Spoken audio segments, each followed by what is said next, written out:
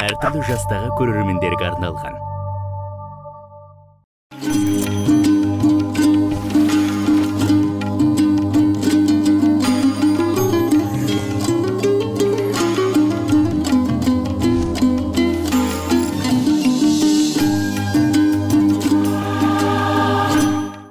Ассалаумағалейкум бұл берекелі шаңырақ бағдарламасы. Біз бүгін түркістан облысы шұбарсу ауыл округіне келдік.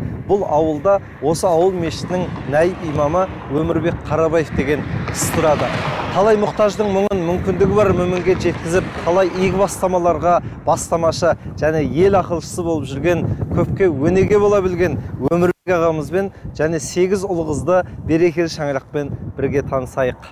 Арнамызға уақыттарыңыз ағайын. Берекелі шаңырақпен бірге болыңыз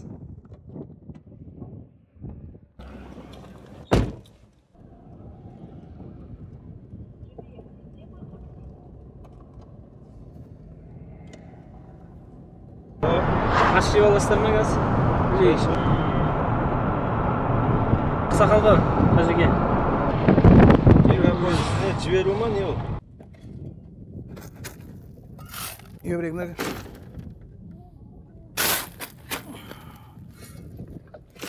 қайтып қуаныштар бізді қаяқтағы білен әкеп тастап кетті дейтін шығар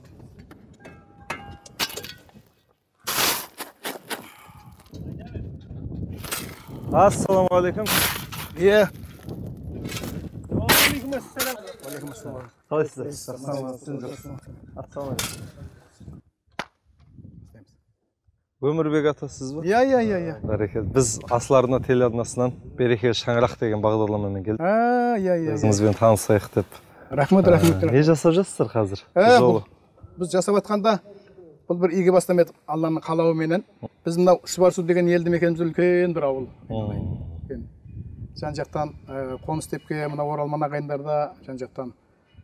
Ә, осы шұбарсу елді мекенімізде халық көп болғаннан кейін ә, көпшілік жерде барлық да соның ішінде жүреді жағдайы жақсыларымыз да бар жақсысынан бастайық нашарымыз да бар жетіміміз де бар сағырымыз да бәрі өзіміздікі соны әйтеуір мынау басында біз бір игі бастаманы алланың қалауымен бір бастап едік бас жағында осы еліміздің ә, шұбарсу елді мен- мекеніміздің өзі халқының өзінікі өзінде де әйтеуір де осы мына дүкендерімізге бұл жерде дүкендер де көп та. Иә. Кәсіпкер бауырларымыз дүкен ашқан әйтеуір алла разы болсын. Сол дүкендерімізге бір кішкене садақа жашықтан бастап басын мына ә, біздің ауданымыздың бас имамымыз бастарбек деген бауырымызға сол кісіге маслихаттасып бастығымызбен осындай қылсақ қалай болады деп дұрыс деп сол ә, әйтеуір халық саудадан артқан тиын тебен әйтеуір сол садақа жашыққа тастап содан жиналып жиналып жиналып қойыңызшы жаңа тама тама көл болады деп ә, бір бір жылға жақындап қалған кезде уақытқа қарасақ ә, бір жер телімін сатып алатындай бір дәрежеге жетіп қалыпты. А бәрекелді. Сонымен мына жерде- кішкене сандықшадан ә, иә сандықшадан да. Содан осы жерден бір он екі сотық жерді. Телімін алдық. Бәрекелді. өзіңіз несін нарқы- нарқына жарады. жеті жүз мың теңгеге алдық осы жерді да. Бұл үйді кімге салып жатсыздар? Енді бұны енді мынау жетім сағырлы міскіндеріміз бар. Қараушысы жоқ. Мысалы өткенде келіп жаңағы үміткерлерге біреу жарым әкеліп көрсеттік. Ә, бір қызымыз қарындасымыз алты перзенті бар күйеу жолдасы қайтыс болып кеткен. Квартирадан квартира үй жайы жоқ. сондай сондай кісілеріміз бар біздің. Соларға әйтеуір алла разы болсын осыны бітірсек мінекей. Мына екі үйді мына бірінші мына екі үйге бастағанбыз жерде төрт төрт отбасы болады да. Көріп тұрсыздар ма а бір үй екіге бөлінеді екіге бөлінеді да.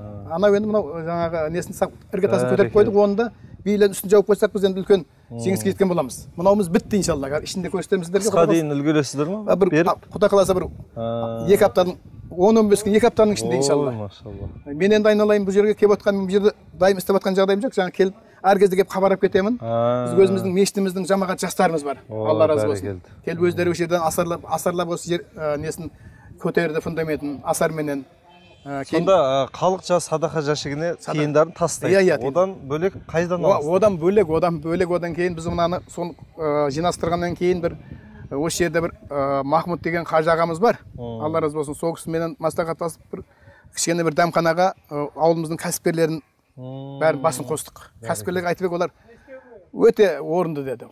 Біз де қарап қалмаспыз қол ұшын ұзатамыз деп әйтеуір кәсіпкер бауырларымыз да қол ұшы тиіп жатыр.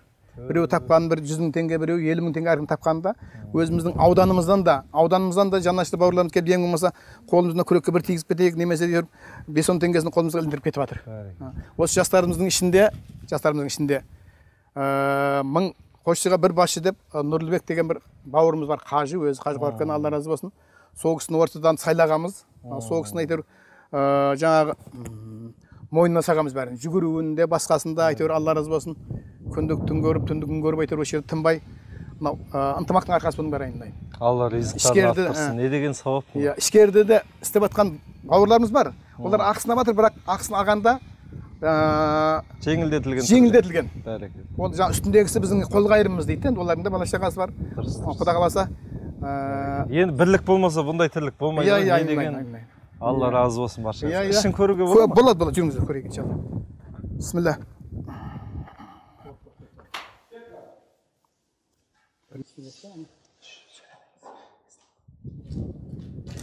ассалаумағалейкум о бәрекелді кең екен ғой әжептәуір иә иә иә. Мынау ошақтан ма?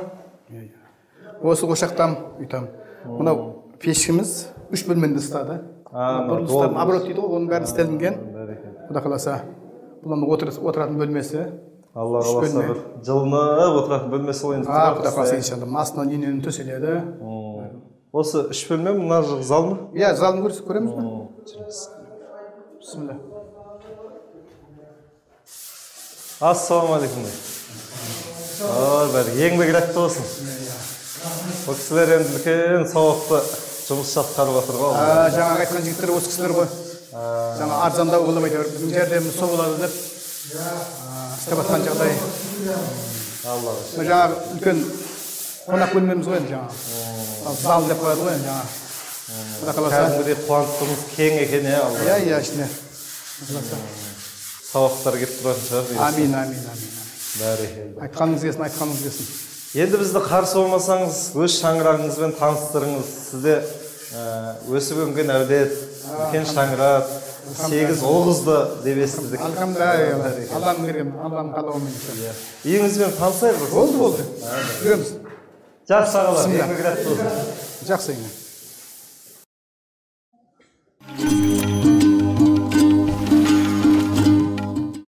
қажымұқан бауырым біздің үйіміз осы отбасымыз. Ә, мынау дастархан басындағы қонақтарымызды таныстыратын болсақ жаңағы сіздер келгеннен кейін енді мынау ауданымыздың бас имамы бастарбек бауырымыз әшірбаевты шақырып өтініш қылып қонақтардың алдында болсын деп бұл кісі. Қасындағы Әб- әбдуәлі ә, бауырымыз бұл кісі біздің әр рахым мешітіміздің бас имамы. Осы ауылдың мешіті осы ауылдың мешітіміздің. мен көмекші имаммын ғой. Ол бер жағындағы қажы ағамыз әбдуәлі деген ағамыз біздің көшеміздің де тұрады өзі қажы бұл кісі де. Бұл кісіні қонақтардың алдына құтты қонақ деп қонақтар келді деп. Бер жақтағы мына нұрлыбек деген қажы ініміз. Бері қарай мына ерлан деген қожа ініміз өзіміздің жамағатымыз қожа деп бұл кісіні қатты құрмет қыламыз. А былай қарата ә, қажы апамыз қасиет деген апамыз. Екі мәрте қажыға барған. Осы жерде біздің анамыз ә, қасымдағы менің алла қабыл етсін. әпкелерім базаркүл деген үлкен әпкем одан кейін ұмсынай деген әпкем. Әпкелеріңіз туған әпкелеріңіз ғой. туған әпкелерім емшектес бәрекелді. қасындағы ырысгүл деген менің жолдасымның жолдасы зайыбы. Оның бер жағындағы ұлтуар деген менің өмірлік жолдасым. Бәрекелді. Оның бер жаққа қарап менің перзентім нұрлан деген перзентім өзімнің. Оның бер жағындағы әсіре деген жаңағы жамағатымыз жолдасымыз. Одан бері қарап бақтыбай деген жамағат ініміз. Менің қасымда отырған нұржігіт деген ініміз мынау мектебімізде оқу бөлімінің бастығы болып істейді иншалла. Қайрат бауырымыз жастар бөлімінен бұл кісі. Ауданнан бұл кісіні өтініш қылып шақырдық. Осылай? Кілең мықтыларды жинап алдық мықтылар жинадық иә. А, бәрекелді. Жақсылардан жақсы бата алайық деп иншалла. Құдайға шүкір. Енді бастарбек ағамызбен кездесіп жатқанымыз бірінші рет емес. Ылғи осындай жақсы бастамалардың жақсы жаңалықтардың арасында көреміз. Енді аға біздің ә, өмекең өмірбек ағамыз ә, жаңа бір жақсы істің басында кездесіп таныстық. Енді жалпы бұндай тірліктер аз емес сияқты талай жақсы іске дәнекер сияқты. Сіз не айтар едіңіз өмекең жайлы Ә, көріп отырсыз қасында жүрген жастарды ә, ел ағаларын осы іске жақсы іске кім болсын дән ра- разы ғой.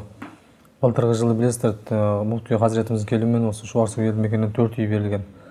Биыл енді бісміллә деп бастаған жаңа төрт отбасыға барлығы әйтеуір осы елдің азаматтарының игі иманды азаматтарының арқасында осындай дүние істелініп жатыр Ә, бұл тірліктеріне біз өте разымыз. Онымен қатар шұбарсу елді мекенінде қазір ә, тағы да бір екі мешіт бой көтеріп жатыр алла қаласа.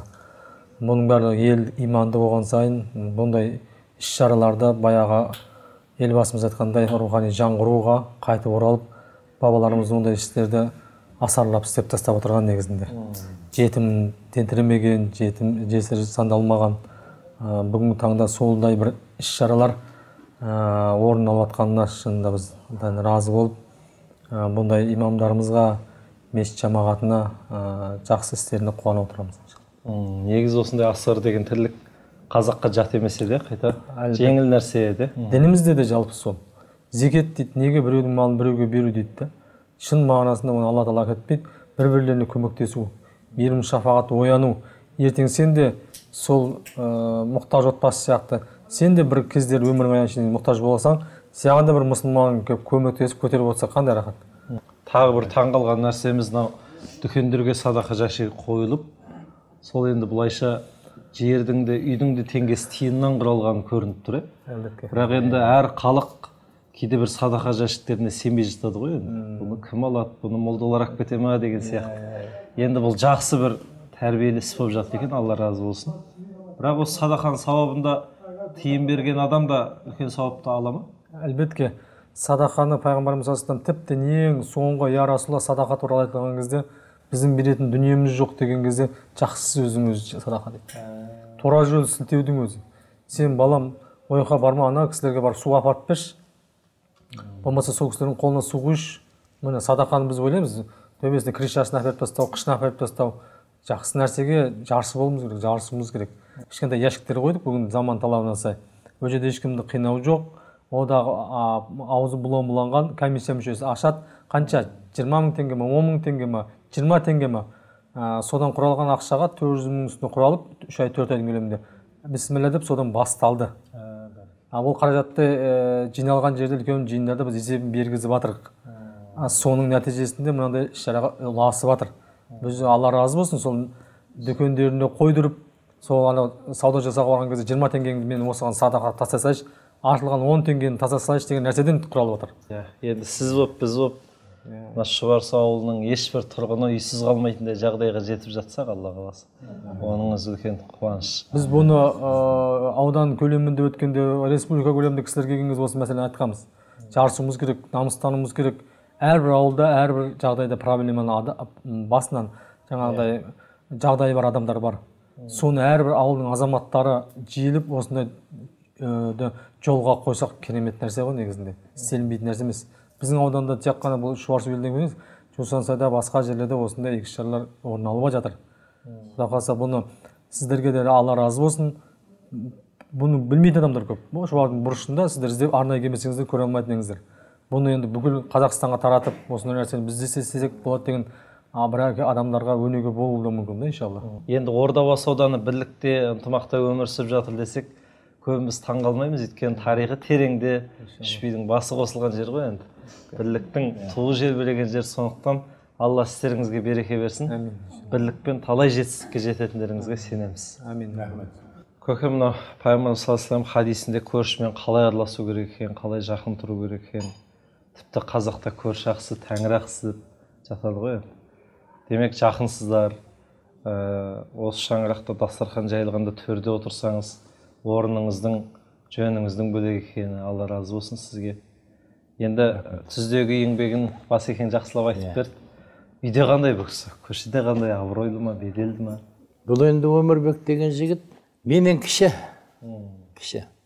Жас құрамы. Бірақ сонда да болса жеде жоғары ұмтылсаңдығы жеде көп мол адам. Өзі сондай құдайдың бір нұры жауған адам десем де болады мысалы үшін мен. Осы көшеде тұрғаныма менің бір он жыл болып қалды десем өтірік емес. сол он жылдың құрамында біз араласамыз. бірақ оған ада- арада да араласқанбыз. жақсы бір өнегелі адам ғой енді әйтеуір енді. Өзіміз үшін жақсы. басқаны білмеймін мен. қай жерге барсақ та өмекеңнің адресінде бір жаман сөз естіген емеспін. Қай жерде болсақ та. ал енді мен өзім басқа жерге барып отыратын болсам өмірбек жоқ болса өмірбекті мен айтып отырамын. Менің осындай бір молдам бар деймін інім бар деймін ырасы да енді ырасы бала шағасын асырайды оразғары жақсымын дастарханына өздеріңіз куә болдыңыздар құда қаласа осы құт береке арымасын дастарханнан жанұясы қалай бала иә шағасы жанұясы енді бала шағасы бар мына келіндері бар құдайға шүкір ел қатар адам біреуден зият біреуден кейін ел қатар адам ешкім әйтеуір іш шай деген әңгіме естіген емеспін мен енді қоңсысымын ғой енді мен содан кейін мынау өзі мен инвалид адаммын бірінші группа менің осы жерде вот айттым ғой жаңа он жылдай болды он жылдың ішінде көлемінде менен туысқандарым да басқалар да хабар алып тұрады ғой бірақ соның ішінде өмірбектің орны бөлек өмірбек маған апта сайын келіп ахуалым сұрайды жағдайыңыз қалай дейді осындай адам қазіргі қоғам дейміз ба заман дейміз ба әйтеуір шарбағымыз биіктеген сайын бала шағаның бір бірімен ойнауы Иә. көршілердің ағайынның араласуы азайып бара жатыр ғой енді осы бала шағаға қандай бір әкелік тәрбие берсек болады қалай ақыл айтсақ болады? Мына балдарға әзір айтып отырамыз. Е сен былай қылма былай қыл былай жүрме былай жүр. Әйтеуір жақсылық жағын айтамыз. Бұл не үшін айтамыз біз? Соның құлағына құя береміз. Мейлі ол тыңдамай ақ қойсын. Мейлі тыңдасын. Бірақ сол нәрсе оған бара береді. Ертең неге деңіз? Бұл ертең біз кетеміз. Оның поколение сол кезде барып түсінеді ол. Бәрібір бар да бәрібір. Бәрібір барады оған. Бірақ жаймен барады. Бала шағаны тыңдамайды айтқанын істемейді дегендер ақыл айта беру керек айта иә? беру керек. Түбінде бір жоқ ол тоқтамау керек. А, сіз ақылды бере беріңіз. Ақырында бір ұстайды. Ол енді кетпейді ғой. Рахмет көке тек. Тірде Жақсы. жүріңіз құдай рахмет рахмет. Қасиет апа сізді қасиетті қағбаны көрген қажы апа деп сыйлап төрге шығарыпты алла разы болсын қазылығыңыз Иншалла. қабыл етсін. Айтқаның мына келсін жүзі жылдан түңілме деп нағыз қазақтың анасы ретінде көріп отырмыз өзіңізді алла разы болсын балам. Апа енді біздің бағдарламамыз берекелі шаңырақ. Осы шаңырақта береке бар ма бірлік бар ма соны іздеп келдік қой енді барынша. Енді жалпы осы шаңырақ жайлы не айтасыз? соны айтайын деп отырмын енді. Мен біздер бұл жерге бұдан 15 жыл бұрын көшіп келдік. Келгенімізбенен бұл өмірбек баламды тан, танығаныма менің бір 5-6 жыл болды. 5-6 жылдың көлемінде мен қаяқтан танимын үйде отырған адаммын. Бірақ мынау нұржігіт деген балам намаз оқиды әйтеуір оразасын ұстап аллаға мың қайтара шүкір алланың жолында жүр. Осы мен бір аға таптым апа деді. Сөйтіп үйге барып тұрады. Енді соңғы кезде мен өзім адал көңілімменен ең үлкен балам деп есептеймін. Бұның жасында адамдарды көріп жүрмін мен. Арақ ішіп алып теңселіп жүргендерді де көріп жүрміз. Әртүрлі әңгімелер де болып жатады. Бұл жігітті көргелі әйтеуір апа апа деп барып тұрады үйге. Той жиынымыздың басында болады төрімізде отырады. Бұл үйде де көп келемін осы үйде жиынында әйтеуір құдайға шүкір апам деп сыйлағанына рахмет. Бүгін де беймарал немереге қарап отырғам. Баламыз звондады өмірбек көкем тез келсін деп жатыр. Деп ұшып келген жайымыз. Айтатын тек қана жақсылық. Құдайға шүкір. Мынау балдарының барлығының еш, еш баласының жаман деген әңгімені естіген жоқпын. Себебі үйім алшақ дегенмен мына жерде тиіп тұр кішкене қызым осы ортада тұрады. Бәндамыз ғой сұраймыз кейде. Десем жоқ апа.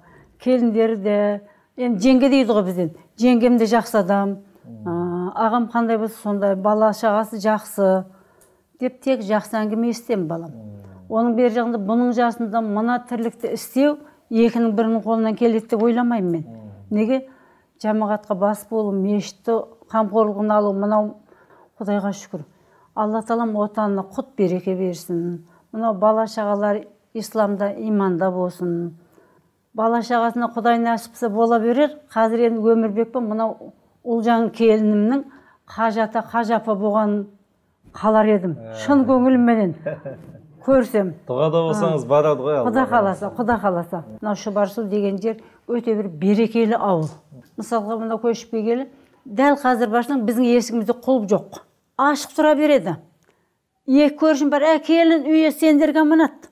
Түнде тойға кетсек те ашық тұра береді. Күндіз де бір инеміз жоғалған емес. Осыған шүкір. Еліміз тыныш. Айтады ғой талтаң талтаң еткенің талтаңбайдың арқасы. Алшаң алшаң еткенің алшаңбайдың арқасы. Бұның барлығы айналып келгенде елбасымыздың арқасы деп ойлаймын мен. Неге десең еліміз тыныш жұртымыз аман тойыншылық міне. Көзің сүрінеді несін қайсысын жерің білмейсің. Мен 75 жасымда арабша үйренемін деп бардым балам. Мен сияқты әпенді бар ма жоқ па білмеймін. Мынау бекен деген жерде мынау қалада үлкен мешіт тұр. Сол мешітке бір жарым жыл барып 29 әріпті білдім. Қазір енді мынау бір парақты алты минутта оқимын. Соғанда мыңда бір шүкір мыңда бір шүкір. Қысқасын айтқанда біздің шұбарсу елді мекеніміз барлық жағынан артта емес. Алдыда да емес орта болады. Міне әзір өздерің айтып отыр былтыр берілді үй биыл салынып жатыр соған да кейде айтамыз әй балам мына тамақ сол істеп жатқан балдарға апара ғой. Мынаны бүйте ғой. Себебі бір кірпіш қосқан адамның өзі де сауап алады ғой. А бұл жердің басым көпшілік халқы е- мынау әйелдері де еркектері де исламға бір табан жақын менің білгенім сол. Осы жерде үш төрт кемпір барып оқыдық. Бұған да шүкіршілік. Бұл әркімге нәсіп қылмайды. Әркімге нәсіп қылмайды. Жаңа ұстазымыз айтады әже сізді мен нұр мүбаракқа апарып түсіріп қояйын. Болды дедім. Сендер дейді намаз оқып жатқанда дейді бала шағаларың келсе тәйт демеңдер. Олардың көздері үйренсін. Намаз оқығанды көрсе олар да намаз оқиды. Сол айтпақшы үш жарым жасар немерем бар. Мешітті көрсе азан айтады аллаху акбар аллаху акбар кейін тоқта ата дейді. Ха мен ақша бер ақша тастаймын мешітке дейді. Бір күнде егер екі өтсек екі рет тоқтатып ақша тастайды. Бұған да шүкір. Бұның бәрі қай жақтан келіп жатыр. Үйде айтамыз ғой садақа бер мынаны апар әй мынаны бер өзіміз үйреттік қой. А, бір жайна нені дастарханды ма сүлгіні ма ала салып алла акбар алла акбар деп сәждеге барып қайтадан жиып ана қойып тұрып кетеді. Келешекте осы тек шұбарсу емес қазақстанның бүкіл азаматтары исламда иманда болсын. Барлығымыз жәннатта бірге. Болайық балам. Рахмет апа. Мынау кеңес үкіметін кінәлап біз сссрдің заманындамыз ғой дейтін талай кісіні көріп ем сылтау айтатын. Бірақ 75 жасқа келіп құранға түскен әжені бірінші рет көріп тұрмын алла разы болсын сізге іліміңізді арттырсын. Иншалла аллаға Иә, талай келінге үлгі болатыныңызға сенеміз бұйырса. Тұңғышы мен ата анамның менен кейінгі сіңлім екі қыздан кейінгі ұл еді жаңағы әкеміздің. Енді ата анамыз марқұм ол кісі анамыз көрді. Әкеміз осы келінді көре алған жоқ. Осы ұл баласынан көру келін көру бір арман еді. Әйтеуір аллаға шүкір біздер көріп жатырмыз. Не дейміз бұл келін әйтеуір шүкір. Осы үлкен оразаларды басқарып отыр. Ешқандай іс жасын көрген жоқпыз. Алланың берген әйтеуір мына ұл қызын өсіріп осы үлкен шаңырақты тербетіп отыр. Мына жаңа м, алдыңғы сөйлеген кісілер айтып өтіп жатыр өмірбектің жайлы бәрі жаман айтып отқан жоқ. Солардың бәрін қосыла отырып мынау келіннің арқасы шығар. Жаңа не дейді мына еркек үйдің егесі болса әйел үйдің шегесі демекші. Осы үйде жаңа дастарханын жайып демекші келген қонағын қарсы алып жылы шайын беріп жаңа жылы шайым болмаса жылы сөзім жоқ бет дегендей жаңа жылы сөзіменен келген адам қонағын күтіп отырған осы келініміздің арқасы шығар. Осы інімізбенен келініміздің тәрбиесін алған ұл қыздары да осылардың жолында жүреді деген деймін. Алла осыларға ұзақ ғұмыр берсін дендерін сау қылсын. Құдайдың берген төрт ұл төрт қызым бар. Үшеуі тұрмыста. Екі балам үлкенім қолында тұрады. Мына үшінші мынау нұрлан атамекенде тұрады. Екі баласы бар. Он бес немерем бар. Қолда келініңіз бар ма қазір? үлкен келінім ғой қолында М, үлкен келінім қолында үлкен балам. көп кісілер кенже баланы алып қалып жатады ғой. Иә, қазір үлкенім одан кейін екі баламды үйлендіремін деп отырмын ғой құдай қаласа жақында бойдақ. Одан кейін жаңағы кішкентай қызым бар. Бәрекелді. Жақында осы жаңағы енді тұрмысқа беремін деп отырмын құдай қаласа. Ниетіме жетемін деп отырмын енді. Екі балаңыз үйленсін қызыңыз тұрмысқа барып әйтеуір өмірлері берекелі болсын. Иә. Ә, енді бір жақсы жаңалықпен тойға келейік елдеріңізге алла қаласа отбасыларыңызға амандық тілеймін. Жұмыстарыңызға береке берсін. Дендеріңіз сау. Рахмет. Амандықта жүздесейік. Төрге қарайық төрге. Қазір бас келсін да ата Alhamdulillah, alhamdulillah rabbil